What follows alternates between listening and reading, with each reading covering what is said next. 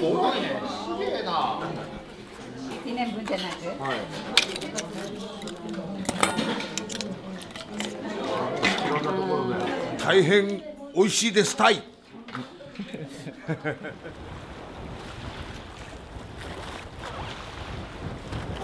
当初は山田湾の牡蠣がほぼ壊滅的で全滅っていう話だったんですけども牡蠣小屋やれるぐらいは残ってるんじゃないかっていう話をいただきまして昨年の10月29日から、